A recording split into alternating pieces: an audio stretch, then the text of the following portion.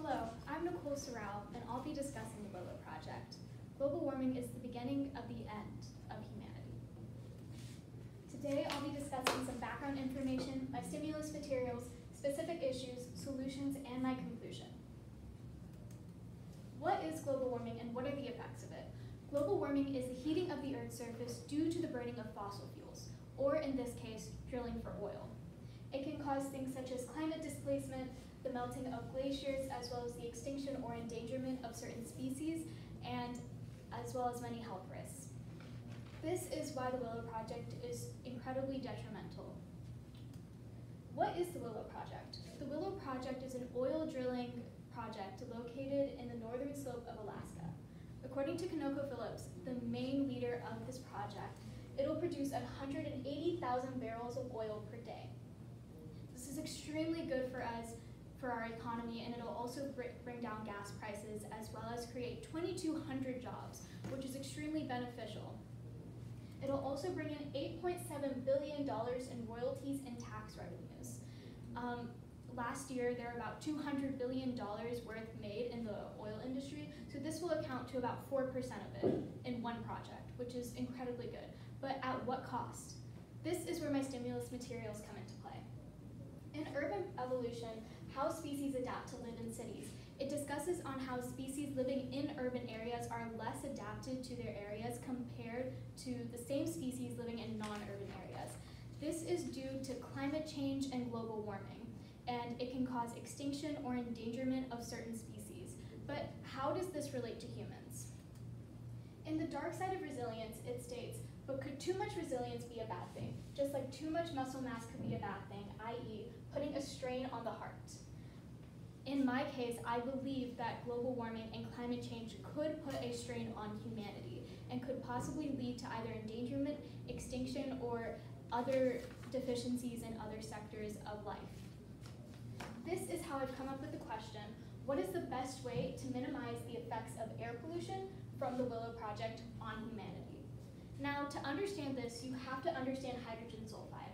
Hydrogen sulfide is a pungent gas released in the oil rigs, and when hit with water, it becomes sulfuric acid. And in the case of the Willow Project, it's an offshore drilling project, so that means it will hit water and it will become sulfuric acid. This will cause things such as acidic decomposition and acid rain. Acidic decomposition can corrode metals, buildings, affect the wildlife, water, and other agricultural areas around it. And acid rain can cause things like this, the dem demolition of certain natural resources that we need, as well as the effects on agricultural sites that are extremely important for humans. Some of the solutions that I've come up with this is higher grade seals, low emitting engines, and maintaining all openings. Higher grade seals will hopefully reduce the amount of emissions let out from these rigs, and low emitting engines will also produce less hydrogen sulfide. And maintaining all openings will just make sure that there's enough maintenance and that there's nothing coming out behind closed doors. But the main two issues with this is one, the money. Low emitting engines are still within works currently and it's extremely expensive to get their hands.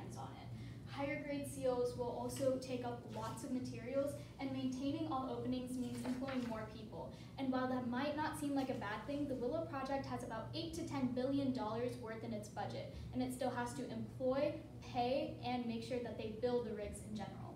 So this will cost a lot of money and as well, all of these solutions will not totally dismiss all of the emissions coming out. It will still be there and there will still be some coming out. So it will not fully fix the problem. Another issue that hydrogen sulfide makes is um, health problems to humans. There have been 46 deaths from 2011 to 2017 according to OHSA, and this is because high amounts of hydrogen sulfide can cause things such as death or nausea, headaches, brain damage, and respiratory issues.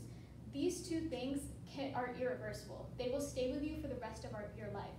And it's really important that we protect these workers on this side, especially given how many there will be. So I have two solutions for this issue. One are hydrogen sulfide detectors.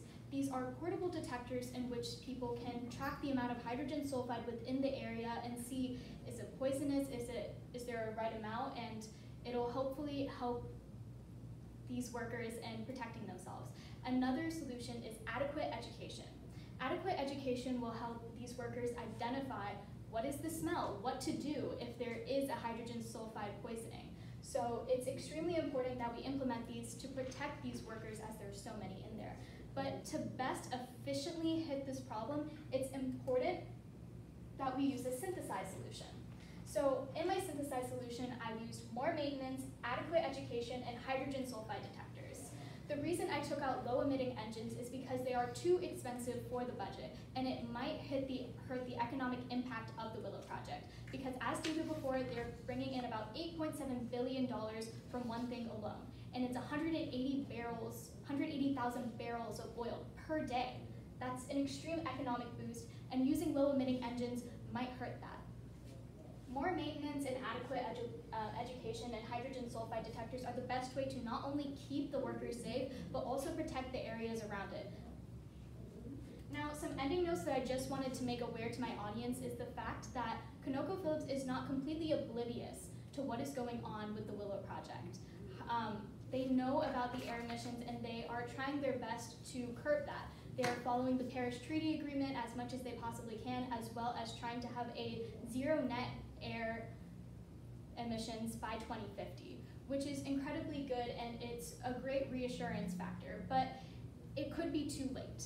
Many critics and many scientists state that we only have 10 years to make a very distinct impact, otherwise some of these things will be irreversible. And it's extremely important that we urge them to be more diligent and to use more efficient solutions. Here is my works cited page.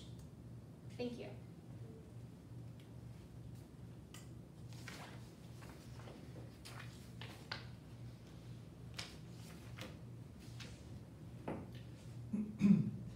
Um, Nicole, how did your research question evolve as you moved through the research process?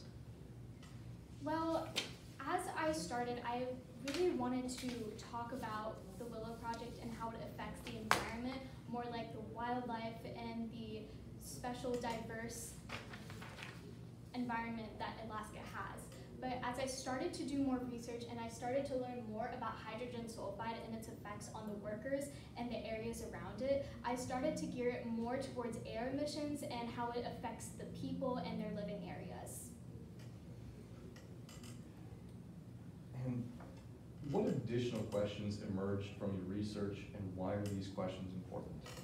Um, so I talked about low emitting engines in one of my solutions. Um, currently, there's not enough information on low emitting engines, which raises the question of how is that development going and how, and because it's the possibility of the future for oil drilling. So it's extremely important that we try and further our research within the low emitting engines department. So that question is extremely important to my issue. All right, thank you.